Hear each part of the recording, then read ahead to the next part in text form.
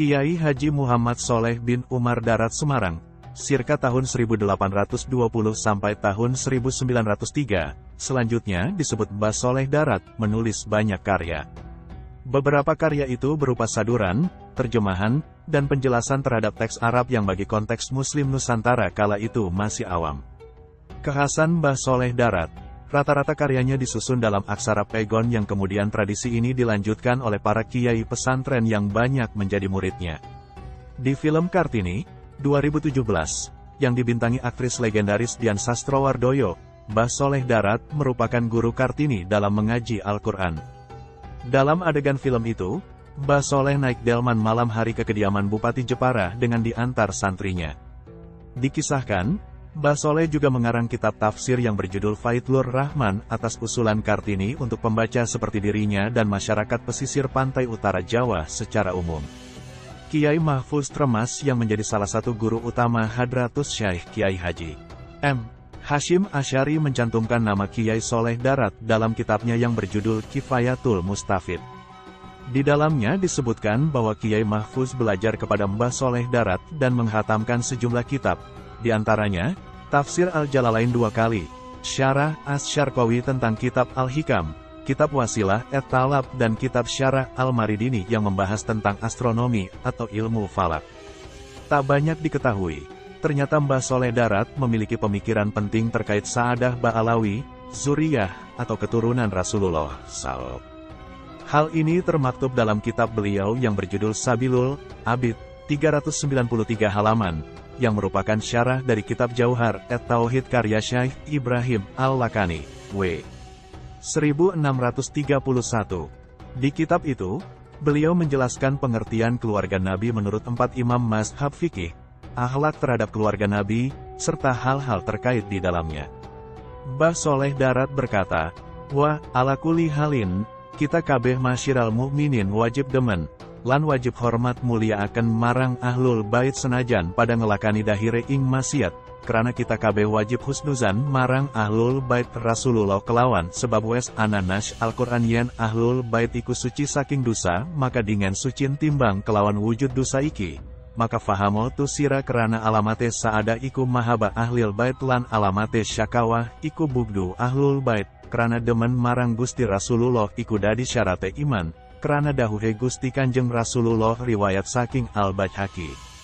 Jika disalin ke dalam bahasa Indonesia, pernyataan beliau berbunyi seperti berikut ini. Jelasnya, kita segenap orang mukmin wajib mencintai, menghormati, dan memuliakan ahlul bait, walaupun secara lahir mereka melakukan kemaksiatan. Kita semua wajib husnudan atau berprasangka baik kepada ahlul bait. Karena telah disebutkan dalam Al-Quran bahwa ahlul bait suci dari dosa, maka lebih dulu ketetapan bersih dari dosa daripada adanya maksiat yang dilakukan. Pahamilah oleh kalian, karena di antara tanda-tanda kebahagiaan, saadah, seorang mukmin adalah mencintai ahlul bait, dan tanda-tanda celakanya, syakawah, seorang mukmin adalah membenci ahlul bait. Mencintai ahlul bait merupakan syarat dari sahnya keimanan.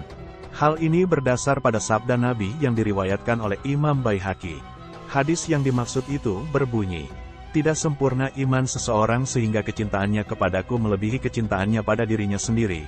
Keturunanku lebih dia cintai dibanding dirinya sendiri, dan keluargaku lebih dia cintai dibanding dirinya sendiri dan zatku dia lebih dicintai dibanding diri sendiri.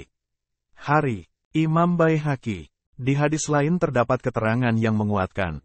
Berikut ini redaksinya. Ajarilah anak-anakmu tiga perkara. Cinta kepada Nabi kalian, cinta kepada keluarga nabinya, dan membaca Al-Quran. Tidak bisa dibenarkan jika orang yang mengaku mencintai Nabi Muhammad SAW tetapi membenci keturunan Nabi, yakni anak cucu Sayyidina Ali dan Sayyidah Fatimah, dan Sayyidina Hasan dan Husain, tambah Mbah Soleh Darat.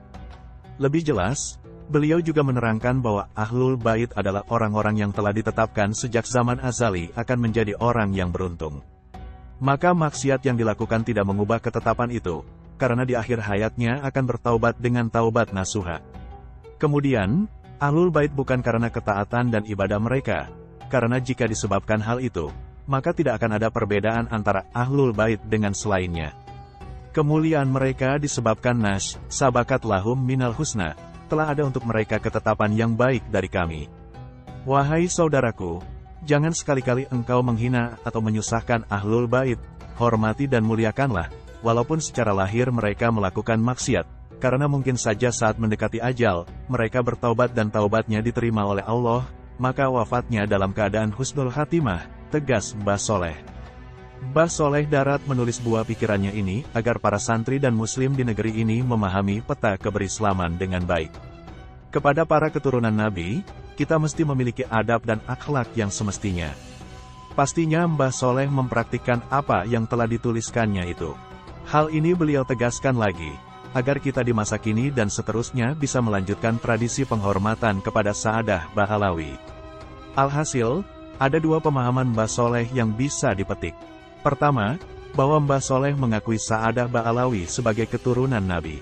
Kedua, bahwa Mbah Soleh memahami Sa'adah Ba'alawi sebagai keturunan Nabi itu bagian dari Ahlul Bait Nabi, yang oleh karenanya kecintaan kepada mereka mesti terus berlanjut bukan hanya pada keluarga Nabi dalam lingkup Ahlul Kisah, tapi juga kepada mereka selaku anak cucu Nabi. Mbah Soleh mengakhiri pembahasan bab ini dengan sebuah catatan, bahwa para Sayyid Ba'alawi wajib menjalankan tuntunan kakek buyut mereka, yakni Nabi Muhammad SAW dan para ulama salafus solih. Sedangkan selain Bani Hashim wajib memuliakan Ahlul Bait, dengan tidak hanya melihat secara dohirnya saja. Dan setiap orang, baik Bani Hashim maupun selainnya, wajib melaksanakan dan berpegang teguh pada adabnya masing-masing sesuai tuntunan Nabi Muhammad SAW.